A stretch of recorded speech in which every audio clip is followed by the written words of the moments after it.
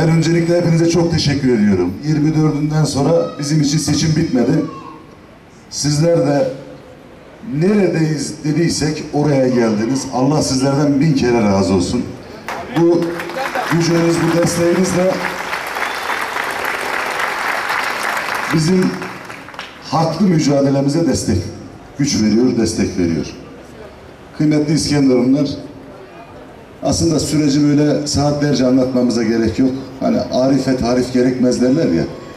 24'ünden itibaren sizler neler yaşadığımızı gerek sosyal medyada gerekse gelerek bizleri dinleyerek gördünüz. Ne yaşadık biz 24'ünden itibaren?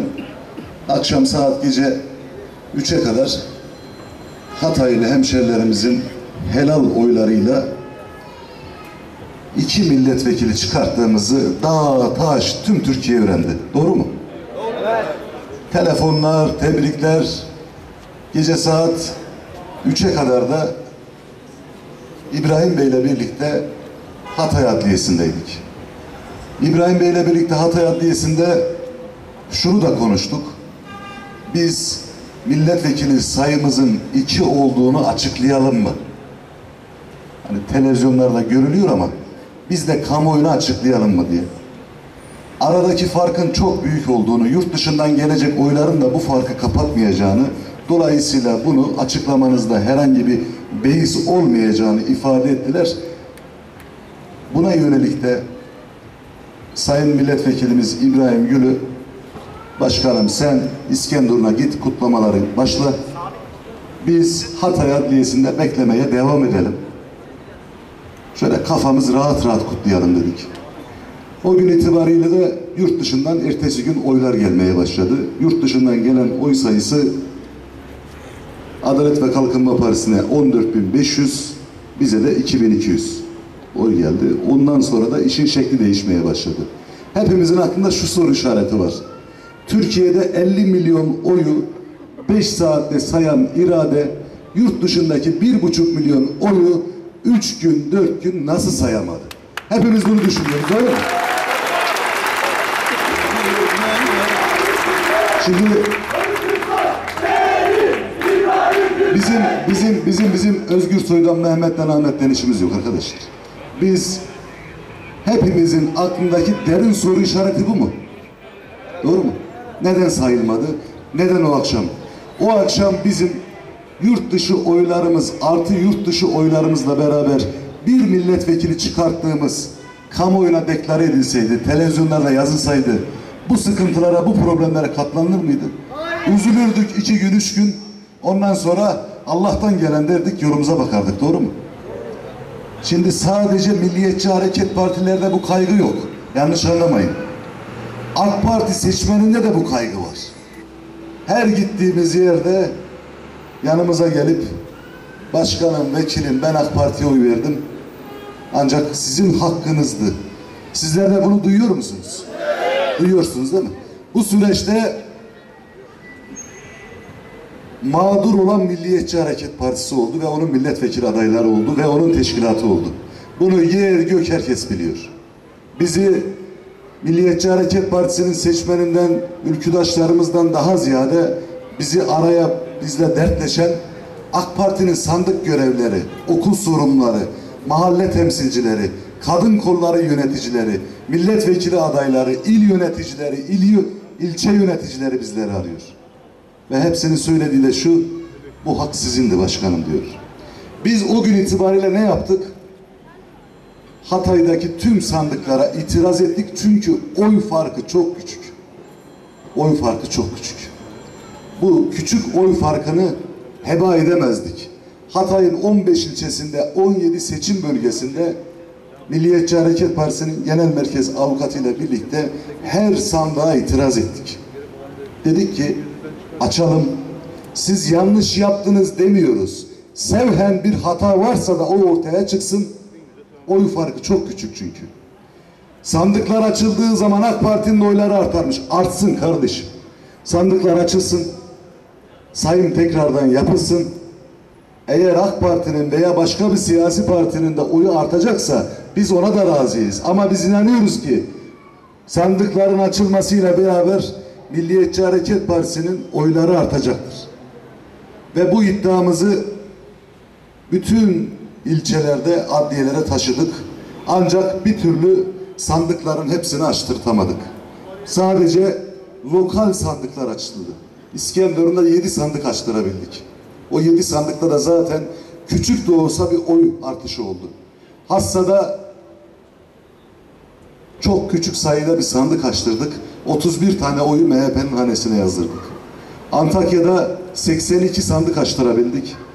Oradan da Milliyetçi Hareket Partisi'ne oy yazdırabildik. Ama Erzin'de, Dört Yolda, Payas'ta, Arsuz'da, İskenderun'da buna müsaade etmediler. Kırkan'da buna müsaade etmediler. Kumlu'da, Yayla Dağı'nda, Altınözü'nde buna müsaade etmediler. Şimdi bu seçime, bu seçimden çıkan sayısal sonuçlara milletin vicdanında belki yarın gidip mazbatayı alacaksınız ama bu mazbata milletin size verdiği mazbata olmayacak. Bunun üzerinde bir artık şahibe var, bir gölge var.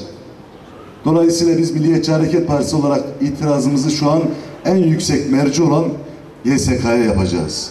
Ve buradan da İskenderun Meydanı'nda da söylüyorum. Gelin hala bir şans daha var. Eğer hak varsa, öteki dünyaya da inanıyorsanız, gelin o YSK'ya yapacağımız müracaatta bize destek verin. Bu sandıkların tekrardan hepsinin yeri açılması yönünde oradan bir karar çıkartalım. Sandıklar açılsın, sayılsın, sizin oyunuz artar. Bizim vekilliğimiz, bir olan vekilliğimiz de düşerse helal hoş olsun. Ama sandıklar açılır ve Milliyetçi Hareket Partisi'nin bu mücadelesinin gerçekliği de anlaşılırsa sizlere söz veriyorum. Sizlere hiçbir şey söylemeden biz yolumuza devam edip gideceğiz. Doğru mudur sevgili İskenderunlar? Bu değil midir bütün mücadelemiz? Biz Allah'ın izniyle yarından itibaren de YSK'ya başvuru için Sayın Milletvekilim İbrahim Gül'le il başkanımızla birlikte Ankara'ya gideceğiz. Ve son olarak şunu son olarak şunu özetlemek istiyorum. Tüm samimiyetimizle aylardır Cumhur İttifakı için çalıştık, çaba sarf ettik. Doğru mudur arkadaşlar? Hiçbir yerde korkmadık Sayın Erdoğan'ın ismini söylemekten. Acaba Sayın Erdoğan'ın ismini söylersek oyumuz düşer diye korktuk mu? Her gittiğimiz yerde ilk önce ona istedik. Sonra döndük Milliyetçi Hareket Partisi'ne istedik. Doğru mudur bu da? Ve Hatay'da 136 bin alın teri organik helal oy var. 136 bin Milliyetçi Hareket Partisi'ne oy veren seçmenin hepsi de döndü Cumhurbaşkanlığında helal oylarını Sayın Erdoğan'a vermediler mi?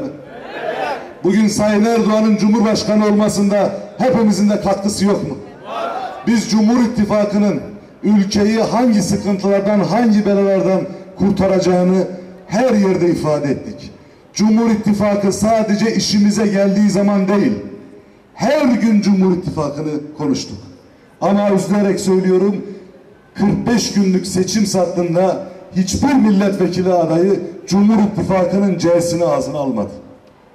Aylardır bize Devlet Bahçeli'nin bu ülke için ne kadar önemli bir insan olduğunu anlatanlar, milletvekili adayı olduktan sonra, liste açıklandıktan sonra 45 gün boyunca bir kere Devlet Bahçeli'nin ismini söylemediler. Biz bunları bilmiyor muyuz? Biz bunları bilmiyor muyuz? Ama biz her yerde dedik? Sayın Erdoğan, Sayın Devlet Bahçeli dedik. Her yerde bunu söyledik. Her yerde de bunu korkusuzca ifade ettik.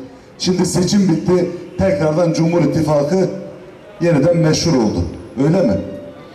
Ve bu süreçte AK Partili ablalarımdan, ağabeylerimden, kardeşlerimden hiçbir problemimiz yok.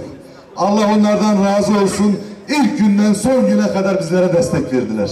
İlk günden son güne kadar. Bizler Cumhur İttifakı olarak şunu düşünüyoruz.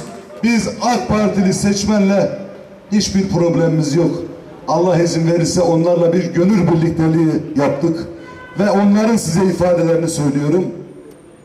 Sizin bu ittifaka girmenizle birlikte biz yüreklendik, bileklendik, kafamızı kaldırdık diyorlar. Allah diyorlar ülkücülerin, MHP'lerin eksikliğini vermesin diyorlar. Bunu ittifak İttifak ortağımızın seçmeni söylüyor bunu. Biz o seçmenle tekrar yol yürümeye devam edeceğiz. Hiçbir sıkıntı yok. Ve son olarak da İskenderun'a şu mesajı vermek istiyorum. Geçen de söyledim. 9 ay 10 gün var belediye seçimlerine. 9 ay 10 gün bize bir doğumu işaret ediyor. İnşallah 9 ay 10 gün sonra belediye seçimlerine bizler başladık çalışmaya. Bu ne demek istediğini burada canlı yayın yapan arkadaşlar var. Konunun muhatapları bunu dinliyorlar. Seçim, seçim Türkiye'de her gün seçim var. İşte 9 ay so- 10 gün sonra yine bir seçim var. Biz yine o seçimlerde yine bu meydanlara çıkacağız. Yine bu mikrofonları elimize alacağız. Yine milletimize derdimizi anlatacağız. Bize inanmayanlar zaten bu seçim sonucu onlara büyük bir tokat oldu. İnşallah o seçimde de biz Milliyetçi Hareket Partisi olarak AK Partili seçmenle birlikte yolumuza devam edeceğiz. Milletimizi kucaklayıp istikametimizi belirleyip devam edip gideceğiz. 9 ay 10 gün sonra belediye seçimleri var. Bu durulur. Bugün bize yardımcı olmayanlar 9 ay 10 gün sonra yeniden bir seçim var. O seçimde de yüz yüze bakacağız hep birlikte. Eğer küçük düşünüyorsanız eğer küçük düşünüyorsanız basit düşünüyorsanız size söyleyeceğimiz bir şey yok. Yarın YSK'ya başvuru yapacağız. Buradan İskenderun meydanından tekrardan sesleniyorum. Samimiyseniz gelin o YSK'daki başvurumuzda bize omuz verin, bize destek verin. Dostu düşmanı da herkese de bir mesaj olsun. Hepinize hayırlı günler diliyorum. Allah sizlerden binlerce kere, binlerce kere razı olsun. Şimdi de konuşmalarını yapmak üzere Sayın Milletvekili İbrahim Gül'ü mikrofona davet ediyorum.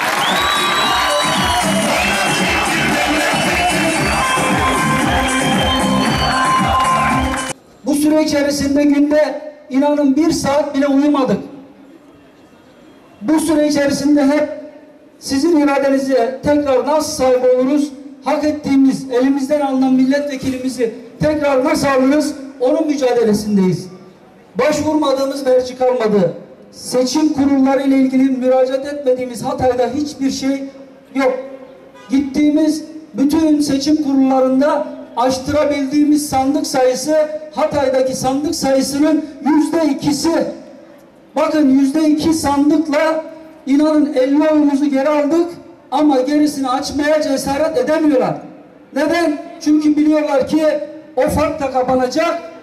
İnanıyorum ki o farkın belki de beş katı tekrar biz fark atacağız onlara. Çünkü sonuçları resmi olarak bile aldık. Ben seçim gecesi seçim gecesi saat 2'yi 5 geçe An Antalya Adliyesi'nin önünden Facebook'tan canlı yayın yaptık. İşte Sayın Vekilim, il başkanımız birlikte orada canlı yayın yaptık ve seçim kurulundan aldığımız şu. Arkadaşlar yüzde 99.7 oy sandık açıldı. Hadi gidin hayırlı olsun. Geriye kalan oyların hepsi AK Parti'ye çıksa bu fark kapanmaz. Gidin hayırlı olsun dedi. Ve ben oradan ayrılarak seçim büromuzun önüne geldim İskenderun'da. Orada binlerce arkadaşımız bizi bağrına bastı. Sabaha kadar orada bu işi kutladık. Sayın Başkanımız adliyenin önden ayrılmadı. Dört buçuğa kadar oradaydı. Dört buçukta adliyenin ışıkları söndü. Kapılar kilitlendi. Sonra Sayın Başkanımız ile geçti. Ama ne olduysa işte o dört buçuktan sonra adliyeye gidip hakkımızı gasp edenler tarafından yapıldı. Oraya kimler gitti? Adliyedeki video kayıtları, görüntüler kimlerden, kimlere baskı uyguladılar? Bu sonucun sabah değişeceğini saat 1'de kendi ildeki seçim bürolarının önünde kimler konuştu? İşte herkes bunu araştırırsa kimin bu yanlışı yaptığı, kimin harama el uzattığını herkes görecektir. Ben ikinci gün o seçimden bir gün sonra saat altı buçukta tekrar adliyenin önüne gittim. Kayıtlar elimde. Kendimi bile orada fotoğraflattım. Altı buçukta Allah'ın bir kulu yok seçim bürosunu e, adliyenin Antalya Adliyesi'nin önünde bekledim. Adliye açıldı. Çıktım. Seçim kurulunda görevli müdür arkadaşlarımız gelmemişlerdi. Onları bekledim. Saat 10 civarında geldiler. 10 civarında dilekçe verdim. Hatay'daki seçim sonuçlarını istiyorum dedim ve bana verdikleri sonuç elimde. Bana verdikleri sonuçta hesapladığımız zaman 8100 farkla milletvekilliği Milliyetçi Hareket Partisi'ydi. Fakat her ne hikmetse aradan kısa bir zaman geçmesine bir saat sonra o 8500'ün de kapandığını yaklaşık kendilerinin 100-150 on- önde olduklarını beyan etmeye başladılar. Şimdi bu tezgahı kim kurduysa onların vicdanına sesleniyorum. Buraya gelmeden önce kadın kollarımızın videosunu izledim. Seçim çalışmalarında çektikleri. Gece saat bir buçuk ikilerde evlerine dönerken hanımefendilerin uyuklarken yorgunluktan birbirlerini çektikleri o video görüntülerini izledim. Ya ben onlara soruyorum. Sizde hiç Allah korkusu yok mu? Hiç vicdan yok mu? Bu insanların emeği çalınır mı?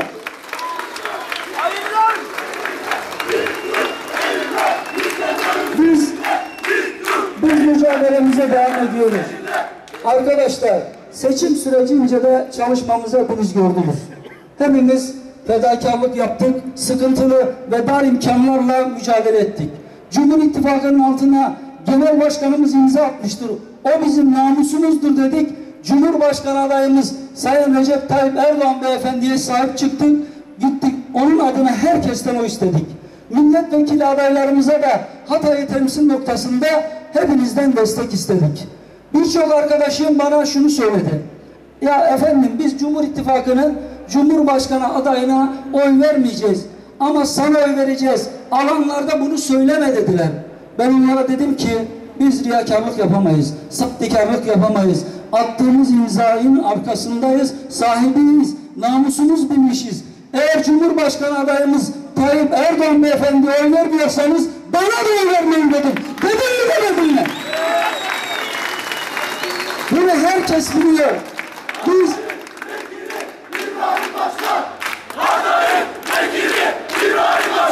biz zaten AK Parti'nin seçmeninden şikayetçi değiliz. Allah hepsinden razı olsun. Bu durumlar hepsi rahatsız.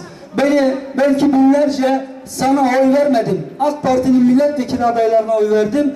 Ama senin hakkın yeniyor. Bundan sonra onlara gereken dersi vereceğim diyen bir sürü hemşerimiz var. Sen haklı mücadelende kazandın, galip geldin. Seni ayak oyunlarıyla al aşağı etmek isteyenlere gereken dersi hem sokakta hem sandıkta vereceğiz diyen binlerce insanımız var. Onun için ben arkadaşlarıma da buradan teşekkür ediyorum. Allah razı olsun. Hakkı bilene, hak yememek için çalışana Allah razı olsun diyorum hepsine. Kıymetli dostlar, Bizler bizler Hatay'daki aldığımız sonucu söyledik. Seçim kurullarına yaptığımız itiraz sonucunda 15 ilçedeki 17 bölgenin sandıklarının tamamının açılıp sayılmasını istedik. Ama maalesef ki bu isteğimiz karşılık bulmadı ve reddedildi. Ben AK Parti'nin idarecilerine, milletvekillerine ve tüm teşkilatındaki görevli il ilçe başkanlarına diyorum ki gelin arkadaş eğer dürüstseniz doğruysanız Yüksek Seçim Kurulu'na müracaat ettik. Orada birlikte hareket edelim. Seçim kurulunda sizler de sandıkların açılması için dilekçenizi verin. Sandıklar açılsın. Eğer sonuç benim aleyhime çıkarsa kazananla milletvekili aday arkadaşınızın kolundan tutup havaya kaldırayım ve hayırlı olsun diyeyim. Bu yürek var mı sizde? Söylesinler. Eğer bir yürek varsa çıksınlar. Aynısını kendiler yapsınlar. Ve biz sandıklar açılınca kaybedeceklerini bildikleri için yaptıkları hilelerin gün ışığına çıkacağını bildikleri için diyorum ki onlar buna cesaret edecek yüreğe sahip değiller. Eğer yürekliyseniz, eğer vicdan sahibiyseniz, eğer Allah korkusu varsa gelin hakkımızı geri teslim edin.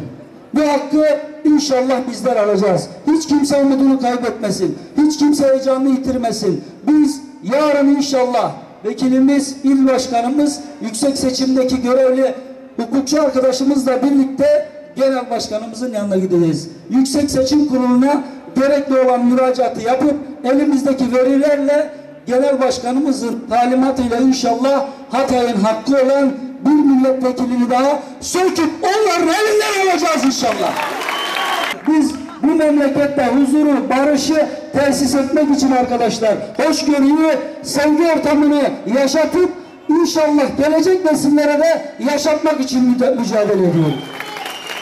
Ondan dolayıdır ki biz tekrar Hatay halkına çok çok teşekkür ediyorum. Hepinizden Allah razı olsun diyorum.